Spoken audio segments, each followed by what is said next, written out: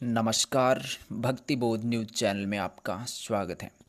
आज के इस वीडियो में हम आपको एक हिंदी स्टोरी बताने वाले हैं, राजा का पारखी नौकर, जो बहुत ही इंटरेस्टिंग और रोचक स्टोरी है। इससे पहले वीडियो के नीचे लाल कलर के सब्सक्राइब बटन पर क्लिक कर, बगल में बेल आइकन ज़रूर दबाइएगा, जिससे इस चैनल पर आने वाले सभी वीडियोज़ की नोटिफिकेशन आपको बिल्कुल फ्री मिलती रहेगी। एक राजा के दरबार में एक इंसान नौकरी मांगने के लिए आया। तो राजा ने उससे पूछा कि आपके अंदर खासियत क्या है? तो उसने बताया कि मैं इंसान और जानवरों को शक्ल देखकर उसके बारे में, उसके व्यवहार के बारे में सब कुछ बता देता हूँ। तब राजा ने उसे अपने अस्तबल का इंचार्ज बना दिया और कुछ समय बाद अपने खास किस्म के घोड़े को उसके सामने लाकर पूछा कि बताएँ यह नस्ली है या नहीं।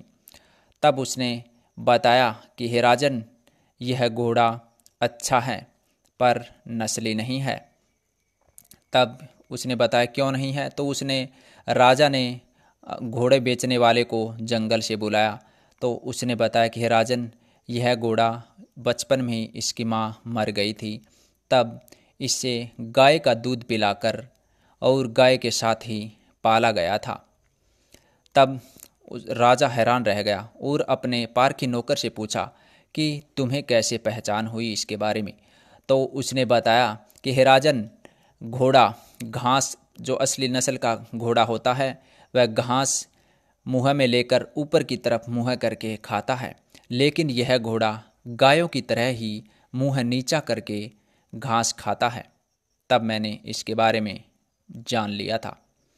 तब राजा बहुत खुश हुआ और उसे भेड़, बकरियाँ और फल, सब्ज़ियाँ और अन्य दान में दिया और उसे, उसके बाद अपनी रानी के महल में तैनाती दे दी गई और कुछ समय बाद उसे अपनी रानी के बारे में पूछा। तो उसने बताया कि, हे राजन, रानी के व्यवहार तो रानी जैसे हैं, पर यह पैदाइशी नहीं है।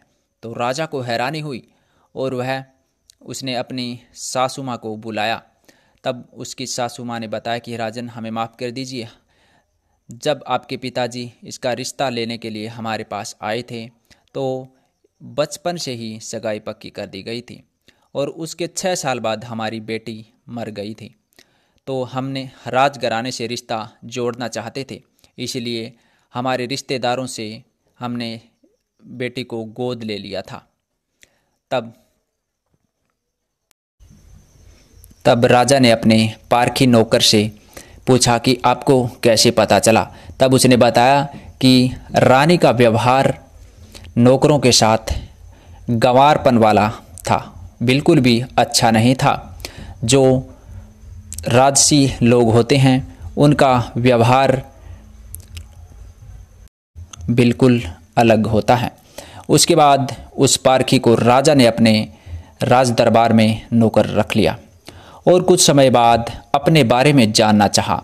तो उस पारखी ने बताया कि, हे राजन, मुझे जान की माफ़ी बख्शो तो मैं आपके बारे में बता सकता हूँ। तब राजा ने कहा, आपको जान की माफ़ी है, आप मेरे बारे में बताइए। तो उसने कहा, हे राजन, आप में न तो राजा वाले गुण हैं, और न ही आप पैदाइशी राजा हैं। राजा को इस बात से बहुत गुस्सा आया। वह जान की माफ़ी दे चुका था, इसलिए अपने गुस्से को दबाए रखा और अपनी माता के पास पहुँच गया। तब उसकी माता ने बताया कि, हे बेटा, हमारा बेटा बचपन में ही मर गया था। तो हमें तब हमने तुम्हें एक चरवाहे से गोद लिया था। तब राजा वापस आकर उसे पूछा कि, तुम्हें कैसे पता चला? तब उसने बताया कि, मैंने आपके व्यवहार से जान लिया था। जब आप मुझे दान भी देते तो भेड़, बकरियाँ और फल, साग सब्ज़ियाँ और अन्य सामग्री ही देते थे। ये राजाओं वाले गुण नहीं हैं। राजा देता है तो हीरे जवाहरात और सोने, चांदी ही दान में देता है।